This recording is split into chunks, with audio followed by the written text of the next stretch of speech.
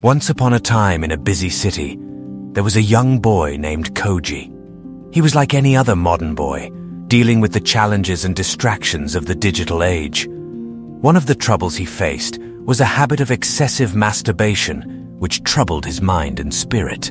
He knew deep down that this habit didn't align with his values and aspirations, and he longed for peace, clarity, and a sense of purpose. One day, while walking through the city, he came across a small and peaceful Zen garden. Curious, he entered and saw an old Zen master named Hoshi sitting under a cherry blossom tree.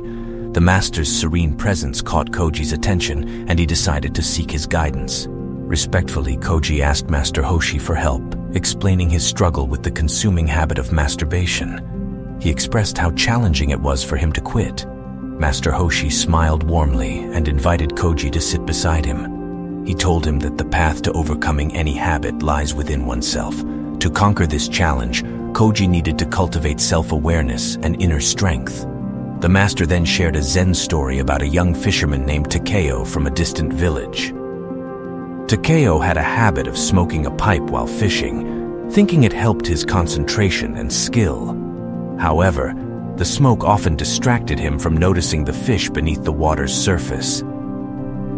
One day, a wise old fisherman visited the village and advised Takeo to let go of the pipe. The old fisherman explained that true mastery didn't come from external crutches, but from being fully present and attentive to the world around him. Takeo took the advice to heart and stopped using the pipe. With time and practice, he became a master fisherman, surpassing his previous skill level. Master Hoshi paused to let the story sink in for Koji. He emphasized that, like Takeo's pipe, Excessive masturbation was a crutch that hindered Koji's true potential. By letting go of this habit, Koji could rediscover his innate clarity and purpose. Feeling hopeful, Koji realized that quitting the habit wasn't about guilt or repression, but about living a more authentic life. Under Master Hoshi's guidance, he embarked on a journey of self-discovery and self-discipline. He redirected his energy towards activities that nurtured his mind, body and spirit, such as new hobbies, spending time in nature, and practicing mindfulness. With each passing day, Koji noticed a profound transformation within himself. The grip of the habit loosened, and he felt a growing sense of inner peace and fulfillment.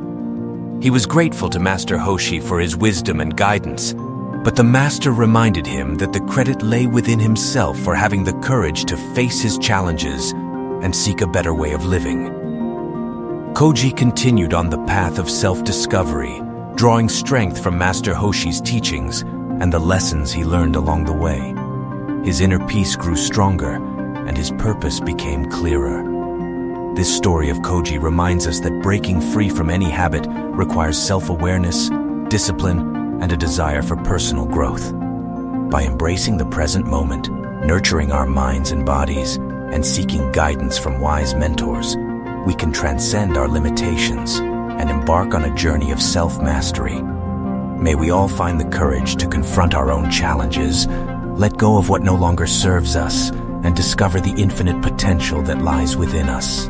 I hope you enjoy watching this cool story video, and if you have something on your mind, don't hesitate to share your thoughts and experiences in the comments below. Don't forget to subscribe to our Inspira channel and click the bell to join our notification squad. Thanks for watching.